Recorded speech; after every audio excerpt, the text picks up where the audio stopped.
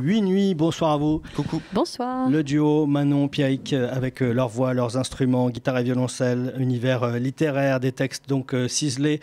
sur scène, ils sont rejoints par le percussionniste Bertrand Gélin. Un EP disponible du Fond des Eaux, de nombreux concerts, dont un passage par les terrasses du jeudi l'été dernier. et on suit depuis un an ou deux votre parcours. Comment les choses elles ont évolué justement? Quel chemin vous avez pris? Quelles ont été les étapes importantes de ces deux dernières années? Euh, bah, Les étapes importantes, ça a été euh, des choses scéniques comme euh, la lumière. on a travaillé avec Marielle, qui est avec nous maintenant en lumière et, qui a fait un travail incroyable de, tableau vraiment sur nos chansons, qui est très beau, qui ajoute vraiment quelque chose de visuel. Le travail du son avec Renaud. D'ailleurs, Marielle et Renaud seront là tous les deux ce soir. Oui, je les ai croisés. Et donc ça, travaille ici au 106 aussi assez régulièrement. C'est ça. Ça, c'est pareil, ça a apporté une autre dimension en termes d'esthétique sonore qui était hyper importante pour nous. Donc on s'est vraiment euh, démené, on a vraiment travaillé là-dessus en profondeur. Et puis évidemment, euh, je crois que le, point d'acmé de, notre évolution, c'est quand même l'arrivée de Bertrand euh, à la batterie et aux percussions. Ça a vraiment amené de la, vraiment une autre dimension, des nuances, permettre d'aller plus loin en termes d'énergie. Et, voilà. et le soutien du saucisse, ça vous a apporté quoi? Énormément de choses. On a commencé le soutien en septembre, enfin le parrainage en septembre euh, là. Donc euh, ce qui veut dire accès aux répétitions euh, illimitées, gratuites, enfin illimitées, plus ou moins, mais enfin nous ça nous suffit en tout cas. Et des, ce, soir fait partie aussi du, package, on va dire. Et puis un accompagnement aussi administratif qui est aussi la, on va dire la, version que les gens connaissent moins de notre métier, mais qui est assez compliqué quand nous on doit se concentrer sur le côté créatif ce qui nous a donné énormément de coups de main en fait. Et euh, merci Julien, d'ailleurs le Normand, d'avoir été passé du temps avec nous. Et euh, ça, et puis, euh, et puis des enregistrements de maquettes, et puis en fait énormément de choses, de, matériel, d'accès à, quand même une, cette structure qui est, qui est, qui est importante et qui du et, coup, toute l'équipe, toute l'équipe qui est à fond et qui est toujours à notre disposition, qui nous prodigue toujours de très bons conseils et qui ont une super énergie et on leur fait des gros bisous. Et qui vous font avancer donc.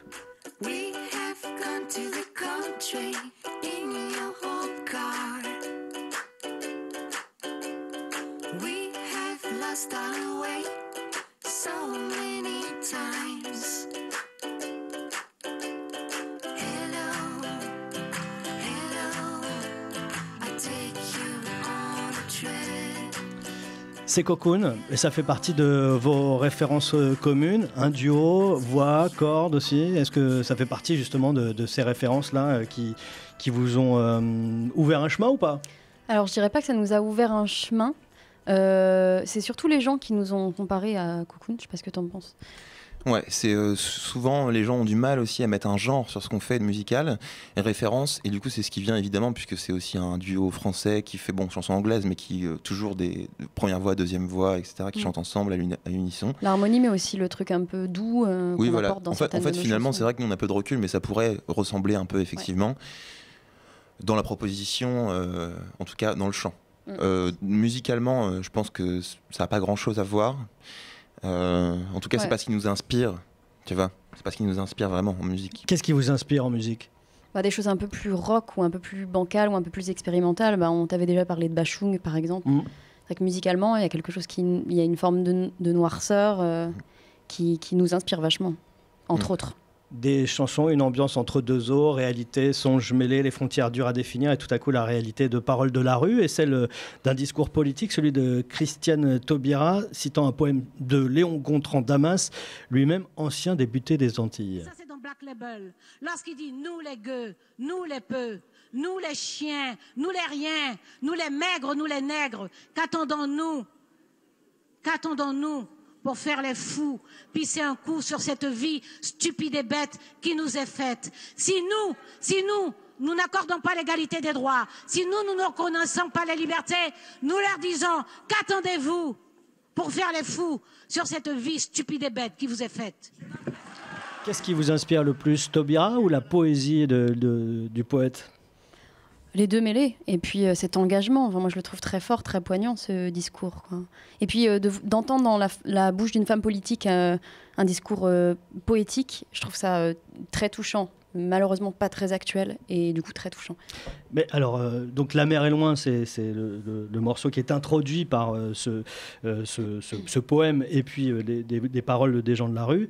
J'ai l'impression que c'est un peu votre texte fondateur, quoi, le truc qui, qui dit beaucoup de choses de ce que vous êtes aussi, mine de rien, parce qu'on ne pense pas forcément à, à, une vision un peu politique quand on parle à une nuit, mais finalement, il y, en a véritablement une en fait. Il y en a, il y en a une. alors malheureusement, on la jouera pas ce soir celle-là. Euh, on, a décidé, on a décidé autrement, mais euh, bon, si les gens veulent l'écouter en live ou même l'écouter, elle est disponible sur le Bandcamp de mmh. toute façon.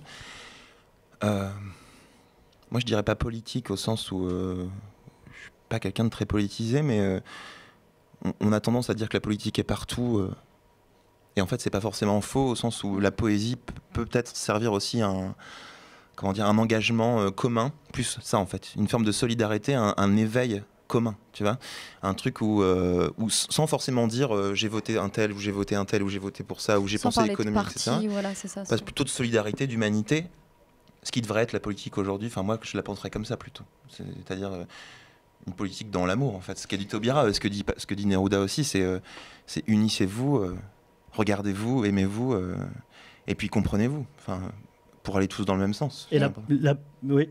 Non, non, je disais, tu as, raison, c'est ça, il y a vraiment une forme d'engagement quand même. C'est pas forcément politisé. Euh.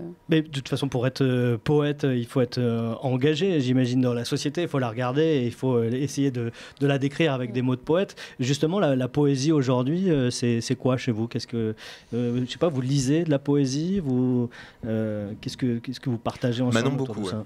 Ah oui, moi je bois, je, bois de la poésie, lapsus. Je bois de la poésie. Je bois de la poésie contemporaine. Non, j'essaye de découvrir beaucoup d'auteurs. je lis plein de choses. Euh, je travaille même euh, la poésie vraiment euh, même expérimentale en termes d'écriture. J'ai d'ailleurs un projet théâtre en cours là sur des textes de poésie qui va se jouer à Curieux Printemps à Rouen.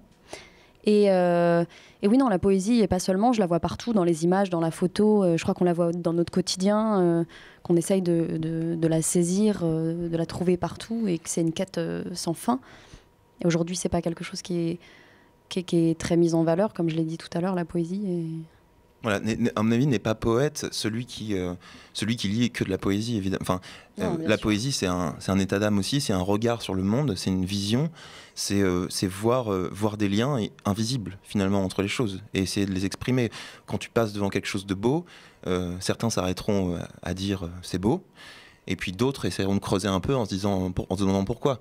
Pas forcément pourquoi, mais en tout cas de faire, faire des liens, tu vois, entre les choses. Si, c'est bien aussi parfois d'expliquer pourquoi quelque chose est beau. Enfin, se demander en, tout cas pourquoi ça l'est. On va revenir à quelque chose de plus terre à terre. Sur Facebook, il y a quelques jours, vous cherchiez un endroit pour créer en paix, pour finaliser euh, dans le calme et la sérénité la composition des arrangements de votre second EP. Vous avez trouvé? Alors, on va très certainement euh, squatter chez Marielle qui nous fait euh, la lumière. Là, voilà. C'est parfait. Au bord de la mer, non mm. Alors, c'est pas très loin de la mer, mais c'est surtout une petite dépendance absolument incroyable en bois avec un billard on va essayer de ne pas faire que du billard. Vous aviez besoin d'un environnement particulier pour terminer cette Non, c'est surtout qu'on a mis notre appart sur Airbnb et qu'en fait on nous jette dehors. Du coup, euh, du coup on n'a pas vraiment La vérité, c'est ça. Non, non, c'est aussi qu'on avait. Bon, il y a ça, mais il y a aussi le besoin de se couper un peu de la ville et euh, ouais, d'aller vraiment s'isoler au sens propre du terme. Et juste pour terminer, cette EP, donc, il arrive quand? C'est au printemps.